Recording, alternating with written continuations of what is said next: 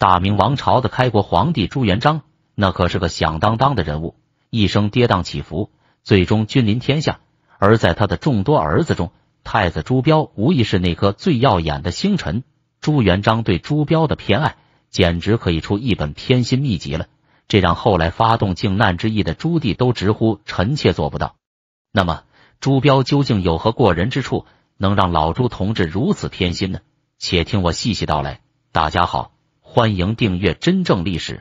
封建王朝里，能当上皇帝的人，似乎总要经历一场杀伐决断。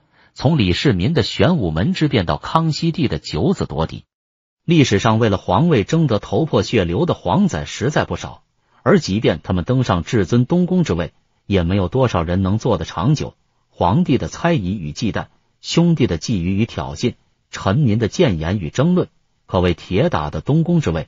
流水的太子人选，然而历史上却有这么一位太子，在当时的皇帝春秋鼎盛之时，以东宫太子身份监国十余年，运转着整个帝国，深受皇帝宠爱，从未遭到猜忌。明明有二十多个兄弟，却没有一个人敢跟他争皇位。明明没有当上皇帝，死后却享受了帝王般的待遇，在朝堂上下更是风评甚佳，地位稳如磐石，是一个难得能让皇帝。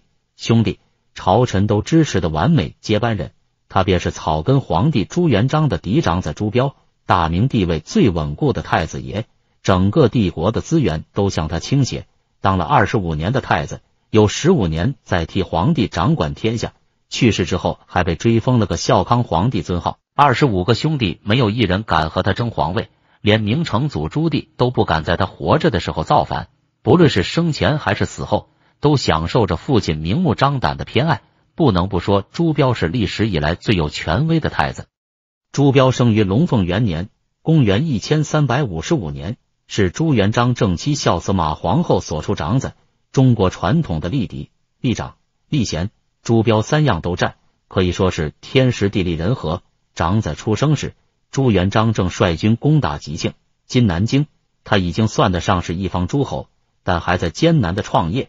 抢地盘阶段，得知心爱之人生下自己的孩子，这个半生颠簸的草莽欣喜若狂。他特意跑到山上刻了“到此山者不患无嗣”。朱元璋的前半生颠沛流离，十六岁的时候，父母兄弟就都因为饥荒饿死了。他本人更是要过饭，还出家到黄觉寺当了好几年和尚。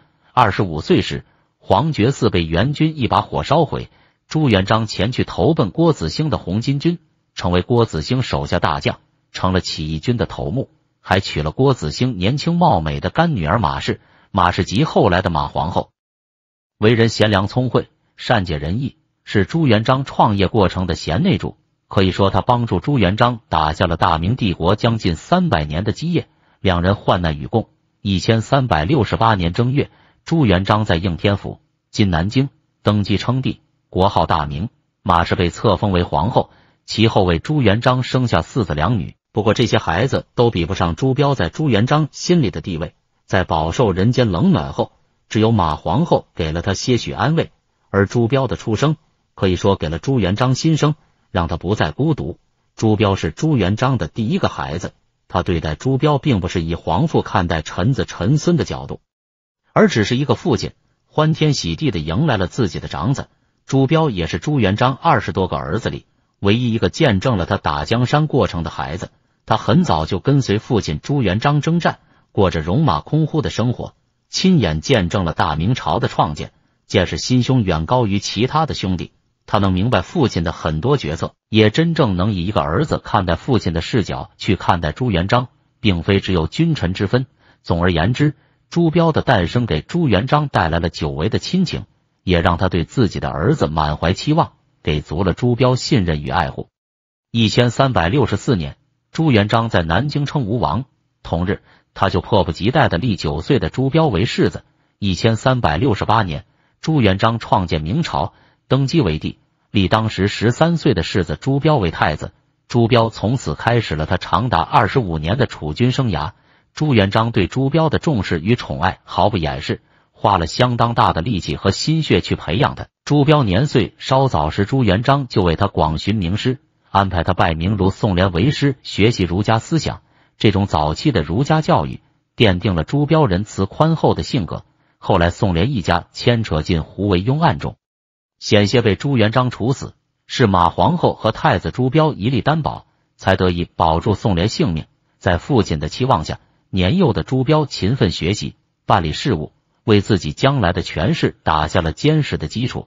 与其他兄弟相比，朱标可以说是独得圣心。打小就有父亲为其配备的名师阵容进行重点培养，文有宋濂、李善长等，武有徐达、常遇春等，都是陪着朱元璋打天下的功勋大臣。当然了，这些人也不一定都时常待在朱标身边，大多都只是挂名而已。尤其是为朱标讲课的老师们，都是另外请的人。但不管怎么说，朱元璋这么做的目的其实很明确：皇帝的左膀右臂去辅佐太子。让朱标羽翼逐渐丰厚起来，未来顺利接班并坐稳皇位。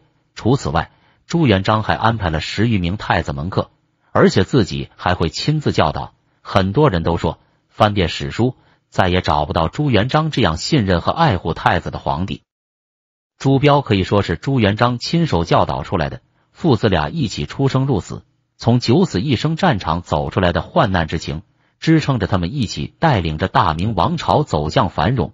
朱标的性格决定了他不会拉帮结派，他的师资队伍都是朱元璋亲自选配的，不管从哪方面说都不会对朱元璋造成威胁，所以朱元璋对朱标是非常放心的。加上朱元璋也对朱标的以文治国和宽厚仁孝十分满意，所以朱元璋才会如此放权给朱标，他们之间是相互信任的。朱标二十二岁时，朱元璋下了一道旨意，朝中正事先启请太子处分。然后奏文，就是说以后所有的事情都让太子处理，最后告诉他结果就行。朱标跟二皇帝没什么区别，这可是实打实的行使监国之权，明摆着给朱标铺未来的皇帝之路。可以说，朱标离皇位几乎就是半步之遥，而正坐在皇位上的那个人，恨不得双手双脚欢迎他上来坐。其实当时朱元璋还不到五十岁，身体也还可以，并且他没有出征在外。人就在京城，却当起了甩手掌柜，将朱标推上前台。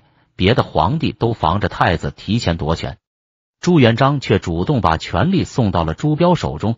从地位上来说，朱标是太子，当皇帝也是众望所归。按照嫡长子继承制，朱标嫡、长、贤三者全占，有其他皇子无法超越的地位，是大明唯一合法的继承人。以他从小到大的经历来看。朱元璋的刻意培养，让年纪轻轻的朱标处理国家政务，而且与朝中有权有势的官员都有联系。而其他皇子成年后就被分封到外地，他们的地位和实力都无法与朱标抗衡，只能望其项背。这些地位与关系不是短短几年就能培育出来的，这也是朱标在位时没有人敢公然争夺太子之位的重要原因。更重要的是，朱标品行甚佳。在一众兄弟中树立了绝对威信，是不折不扣的贤人。虽然身为太子，但他对待兄弟宽仁有爱，从来不拿身份压人，为人处事非常得当，是所有兄弟们的榜样。虽然历史上皇家兄弟之间总是存在勾心斗角，但朱标却能用他的人格魅力处理好这些关系。无论兄弟之间发生何种矛盾，朱标总是出面进行调解，并为犯错的皇子们求情。抢在前面护着，颇有兄长的风范。他接受的儒家思想教育，让他形成了仁慈宽厚的性格，赢得了众多皇仔的尊敬和感激。哪怕有些弟弟也心有不甘，但面对朱标的人格力量，也无可奈何，因为他们深知，就算想害朱标，也断然办不到。朱元璋对朱标言听计从，根本不会相信他们的谗言。燕王朱棣在外征战多年，战功赫赫，威望极高。这么不好惹的角色，面对朱标都是恭恭敬敬，不敢造次。如果是朱标在位期间，朱棣有了造反的心思，估计还没起兵，朱棣就已经被兄弟们绑好送给朱标了。作为当朝掌政太子，朱标没有辜负朱元璋的悉心栽培，其贤能名声在朝堂上下也是有口皆碑。他治国卓越，在当时的朝堂之上很有威望，身边聚集了一大批的文臣武将，形成了庞大的太子党。朱标不是真的被父亲呵护长大的文弱太子，他也是守过城池、打过仗的。军中的徐达、蓝玉等大将都是朱标坚定的支持者。学习处理朝政的时候，朱标接手了朱元璋的勋贵功臣这一强大的人脉网，和各方势力的关系都处理的游刃有余，执政手段很有一套。朱元璋对外征战时，朱标留在南京，成为朱元璋最有力的后盾。朱元璋也看重朱标过人的学识品德，寄予厚望。他时常叹息道：“吾平生最可悲者，未能早遇标一类良才耳。”可惜的是，无论是朱元璋还是大臣们，都没能等来朱标继位的那一天。朱标过于操劳过度，于公元十三九二年染上了风寒病，去世的时候只有三十七岁。可以说。朱标是作为二皇帝活活给累死的。朱标的谥号定为义文，义取美好之意，文赞的是贤明之君。其下葬礼节更是按照皇帝标准去办的。这一年，朱元璋六十五岁，他用了三十多年培养出最合适的太子人选，没想到朱标却走在了自己前面，而他不可能有足够的时间精力再从头来过。六年后，饱受打击的朱元璋也崩逝。大明王朝失去了最合适的接班人，只有朱标之子皇孙朱允文以建文帝的身份登基。朱标帝英年早逝，改变了一切，明王朝微妙的政治平衡被彻底打破。朱允文失去了强有力的后盾，朱棣也失去了威慑，趁机发动了靖难之役，并夺取了皇位。甚至有人说，历史进程也因此改变。如果朱标还活着的话，朱棣是否敢冒险篡位？这个问题无法确定，历史无法重来。对于这个完美继承人的不完美结局，人们只能空留感慨。说完了朱标的过人之处和朱元璋的偏心原因，咱们再来看看朱棣吧。这朱棣也是个能人，文治武功都不赖，但他为啥就得不到朱元璋的偏爱呢？说白了，还是差那么一点点缘分。朱棣虽然才华横溢，但他在朱元璋眼里始终是个外人，因为朱棣不是马皇后生的。而是朱元璋的一个侧妃所生，这在古代讲究嫡庶有别的年代，可是个大问题。再加上朱棣的个性比较强势，和朱元璋有点像硬碰硬的感觉，这让朱元璋觉得朱棣虽然有能力，但缺乏一些柔和的东西，而这些东西正是朱标所拥有的。朱棣只能望尘莫及了。说了这么多，咱们也该收收尾了。朱标作为大明王朝的太子。那绝对是天之骄子般的存在。他不仅有着过人的才学和品德，还深受朱元璋的偏爱，这让他在朝廷和民间都赢得了极高的声望和地位。虽然朱标最终没能坐上皇位，他去世后，朱元璋把皇位传给了他的孙子朱允文，但他的事迹和精神却永远铭刻在了历史的长河中。而朱棣呢，虽然没能得到朱元璋的偏爱，但他后来凭借自己的努力和才能。发动了靖难之役，成功登上了皇位，这也算是天道酬勤吧。不过回来，要是朱标还活着的话，朱棣还真不一定能成功呢。毕竟朱标那才学和品德可不是盖的。